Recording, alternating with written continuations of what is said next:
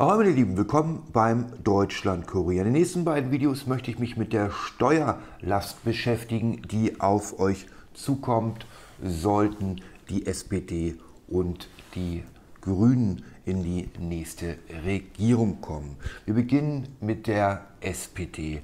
Vorab sei gesagt, dass überhaupt auch nur irgendeine Partei auf die Idee kommt, die Steuern, egal welcher Art, erhöhen zu wollen, ist eine Unverschämtheit sondergleichen. Es ist inzwischen auch schon beim uninformiertesten Menschen angekommen, dass wir zwischen einem halben und einem Dreivierteljahr ausschließlich für den Staat arbeiten. Und das kann es doch nun wirklich nicht sein. Deswegen dürfte es nicht heißen Steuererhöhung, sondern Steuersenkung. Und davon ist bei der SPD und auch bei den Grünen überhaupt nichts zu sehen. Kommen wir zur Einkommensteuer. Da möchte Olaf Scholz die Gutverdiener höher besteuern. Wobei gut verdient ist hier auch relativ.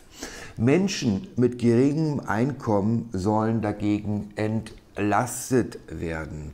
Aber das ist auch nur eine Mogelpackung. Das Forschungsinstitut IW hat berechnet, ein Geringverdiener, also der ungefähr 25.000 Euro brutto im Jahr verdient, der wird dank der großen Entlastung der SPD nur schlappe 64 Euro sparen. Nein, nicht am Tag, nicht in der Woche, nicht im Monat, im Jahr. 64 Euro im Jahr. Eine alleinerziehende Mutter, die beispielsweise 50.000 Euro im Jahr verdient, spart auch nur schlappe 113 Euro. Ein Single dagegen, einer mit einem sehr hohen Einkommen, zumindest laut Bild, sprechen hier von 150.000, der wiederum muss 1.440 Euro im Jahr mehr bezahlen. Also ihr versteht das Konzept. Es wird so getan, als gäbe es eine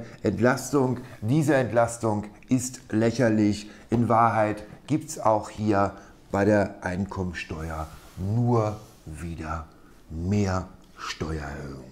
Kommen wir zum Spitzensteuersatz. Den möchte Olaf Scholz auf 45 Prozent steigen lassen. Momentan steht er auf 42 Prozent, was natürlich auch schon viel zu hoch ist. Einkommen ab 250.000 Euro bei Paaren 500.000 Euro sollen zusätzlich 3 Prozent Reichensteuer zahlen.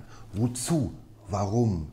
Die Reichen, die Besserverdiener, sind doch diejenigen, die die ganze Chose hier in Deutschland überhaupt noch am Laufen halten. Ich glaube, wir haben einen Prozentsatz, lasst mich lügen, von, keine Ahnung, 18 Prozent oder so, die wirklich noch Netto-Steuerzahler sind, die dafür sorgen, dass es uns im Land noch gut geht. Den Solidaritätszuschlag möchte Olaf Scholz angeblich abschaffen, allerdings nicht für sogenannte Spitzenverdiener. Die sollen ihn weiterzahlen müssen. Auch hier die Frage, warum, wozu? Wenn wir die Gutverdienenden immer mehr besteuern, dann ist das nichts weiter als eine Umverteilung. Am Ende werden keineswegs alle reich sein. Nein, am Ende werden alle arm sein bei so einer Steuerpolitik. Dazu kommt, dass immer mehr Menschen, die in Deutschland gutes Geld verdienen, sich verabschieden in Länder, wo sie ein wenig gerechter behandelt werden. Kommen wir zur Vermögensteuer. Die gab es ja in den letzten Jahren gar nicht, aber Olaf Scholz möchte sie wieder einführen. Wer mehr als ein Vermögen von 2 Millionen Euro hat, soll pauschal mit einem Prozent im Jahr besteuert werden. Und hier auch nochmal, Wozu? Das ist Geld, was bereits versteuert wurde. Wie kommt der Staat dazu, es nun nochmal versteuern zu wollen? Kommen wir zur Erbschaftssteuer. Eine Steuer, die an Ungerechtigkeit kaum zu überbieten ist. Auch da möchte Scholz ran.